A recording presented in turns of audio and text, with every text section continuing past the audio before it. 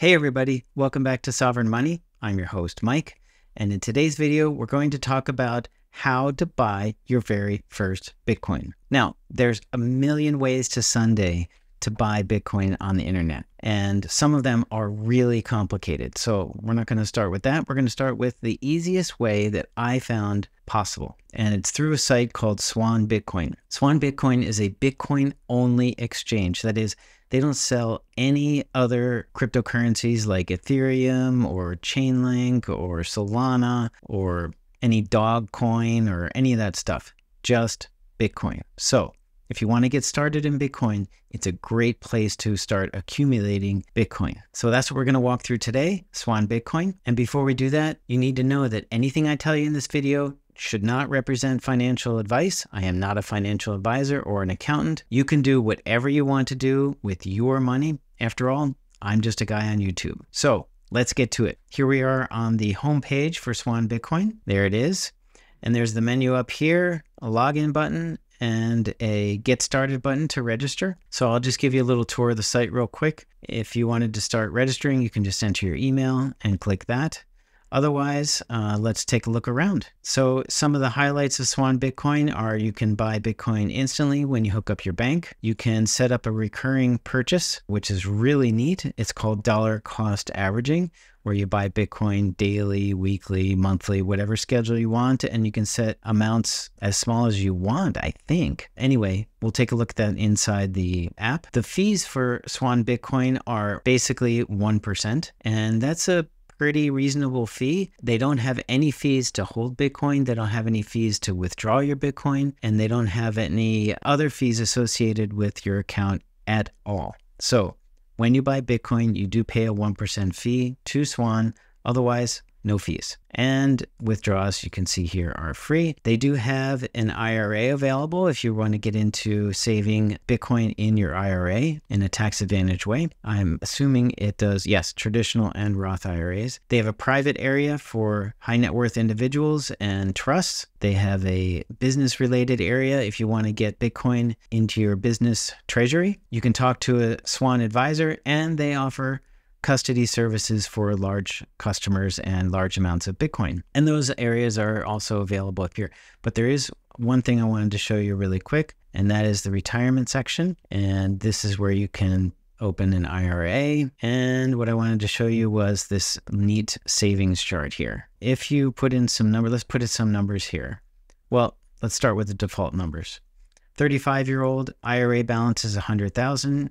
This person contributes 6500 a year and their expected allocation to Bitcoin is 20%. Let's be bullish on the return. That's a 20% Bitcoin return and a 10% stock return. With that scenario, starting at age 35 and going to age 65, the person who's saving in this IRA would have $9.5 million, presumably, with a 20% allocation to Bitcoin.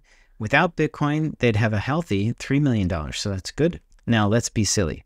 Let's take this to 25 years old, IRA balance of 100,000, 6,500 annually. Again, this is an IRA, so there are some saving limits. My allocation to Bitcoin, let's just let's just go all in on Bitcoin on this IRA. Again, we're going to use bullish returns. and and you ready? Drum roll, please. Your IRA value with 100% Bitcoin at a 20% annual return with 6,500 contributions annually would only be $204 million. I'm not sure how they get those numbers, but that's what they got. So that's pretty special. I wouldn't mind to have my 204 million in my IRA. So you can do what you want to do there. Let's get back to the homepage. Now, in order to get started with registration, you click the Get Started button, enter your email, and from there you'll receive, you'll be sent to a page. It says, check your email.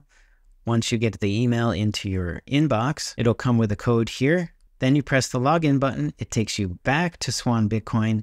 You enter the code, and then you go through the registration process. They do have a registration for Americans and international people. Swan Bitcoin is available in multiple countries. I'm not sure what the list is, but it is available for other citizens. Okay, let's get back to Swan. Now, when you finish registration, and you log in, this is what you're going to be presented with. I have an account myself, so I can't show you the registration process. So what we have here is two parts. We have the retirement part. I do not have an IRA with Swan and your personal account. So let's check out the personal account. I happen to have some Bitcoin in here, $9.78 worth.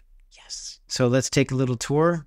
If you want to show your Bitcoin balance in sats, which is short for Satoshis, if you take the decimal point and move it to the right, eight spaces, you get Satoshis. It looks pretty cool. I like 22,000 better than 0.0000. So I feel more wealthy that way. Let's leave it there. In the withdrawal section, if you have any Bitcoin awaiting unlock. Now, what does that mean? When you purchase Bitcoin, here's the page here. When you purchase Bitcoin, Swan Bitcoin makes you wait a certain amount of time before you're able to withdraw it into your own custody, which they really encourage. And I encourage you to do that as well. So if you use a wire transfer to fund your account, you only have to wait 24 hours and direct deposit if you have uh, want to put your paycheck in there. Any Bitcoin deposits, you only have to wait 24 hours to get them back out, and referral codes. If you use ACH to make a Bitcoin purchase on Swan Bitcoin and you use less than $2,500, you have to wait 10 days before you can withdraw that Bitcoin. If you use ACH and larger than $2,500, you have to wait a whole 30 days. That's a lot, but that's their policy. 10 days for longstanding customers. Customers, I'm not sure what longstanding customers are. And any recurring purchases, again, have a certain length of time that you need to wait to withdraw the coins. Back to withdrawals. And next section is deposits. What amount of money is waiting in your account to be used for purchases? I don't have anything in there. Gifts. Okay. Gifts. This is a really neat part of the site. So you can give Bitcoin as a gift to anyone using their email address. It says here, create your gift, send your gift, and when the gift is accepted, you'll get notification. It's really neat to send, be able to send Bitcoin to anyone. You do not have to use their phone number and send a standard amount 100, 250, 500, whatever you want to put in here. I'm not sure what the limits are. Let's see. Ooh, I'd like to get that gift card. And then you set a date.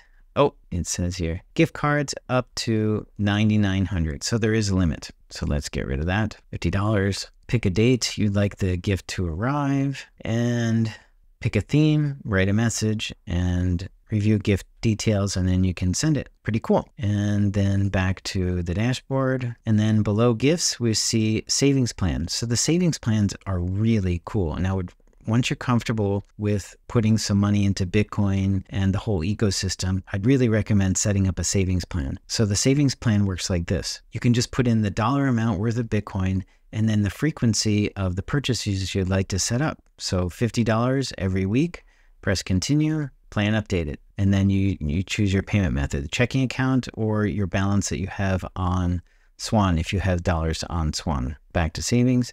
I'm not sure what the limits are here. Wow, $500 a day.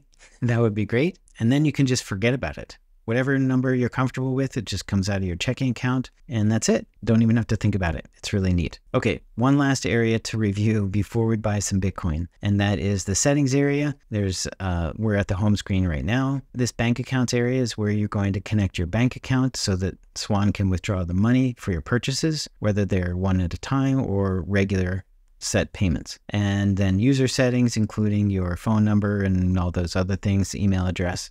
Help Center, and of course, this is where you log out. All right, let's buy some Bitcoin. So, how do you buy Bitcoin using Swan? Just a regular purchase without a savings plan. You would click the Buy Now button. No, I don't want to buy $100. Let's try 25. Buy $25 worth of Bitcoin now. Approximate price 42,890. So, Swan says that they don't use what's called a spread. That is, a lot of companies use a spread between the actual price that they buy the Bitcoin and the price that they sell you the Bitcoin. So if the Bitcoin price is 42,500, they might sell it to you and say the price for Bitcoin is 43,000. So they make the difference in that spread, the spread from the price they buy it and the price that you buy it from them. In addition to that, they also charge fees. So we already talked about there's approximately a 1% fee and there's a subtle spread because I'm looking right now let's try let's refresh this. It says 42,919 well I'm looking right now and the price of Bitcoin is 42,779 so there's a small $100 price spread that they have built in. It's subtle and I've seen really large price spreads on other exchanges so this is not a big deal. And then so oops I don't want to do $100 Let's do let's do 20. Keep it conservative. We'll preview that purchase. $20. This is the amount of Bitcoin. This is the price.